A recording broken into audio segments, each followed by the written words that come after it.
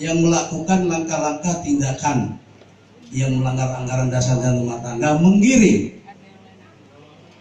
Yaitu DPC DPC kabupaten kota.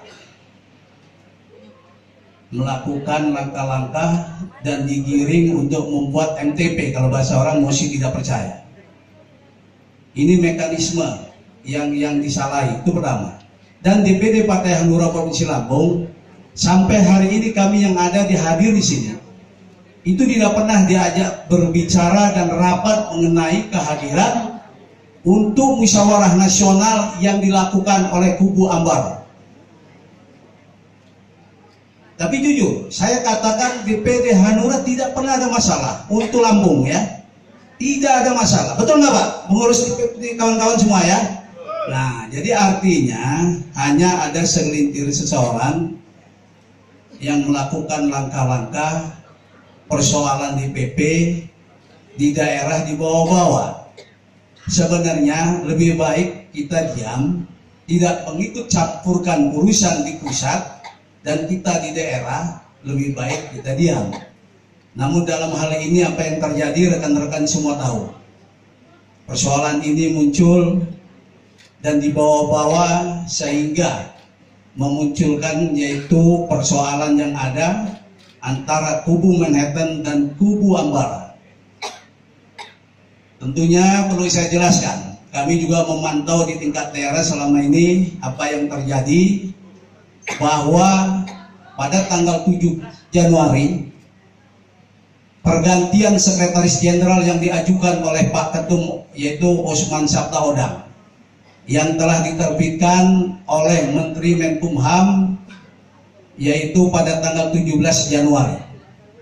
Mungkin kawan-kawan juga sudah tahu semua Munaslup dilaksanakan di atas tanggal 17. Saya tidak ngerti mereka mengatasnamakan siapa secara lembaga saya anggap mereka yaitu kalau kita bilang organisasi tanpa bentuk tapi silakan mereka punya hak di aturan-aturan yang ada ini yang perlu saya tegaskan bahwa kemarin beberapa hari yang lalu ada pertemuan di tingkat dengar pendapat antara Komisi 2 dan KPU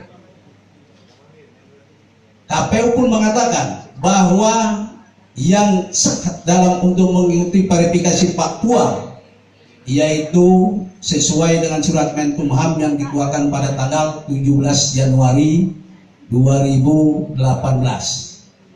Tentunya dalam hal ini Partai Hanura untuk Provinsi Lampung yang disampaikan lewat Ketua DPP telah diangkat yaitu Wakil Sekretaris Jenderal DPP Partai Hanura untuk Bengkulu Lampung yaitu Bapak Dr. Andi Surya yang ditunjuk oleh Ketua Umum berdasarkan surat keputusan nomor 173 beliau adalah Ketua Pelaksana DPD Partai Hati Nurani Rakyat Provinsi Lampung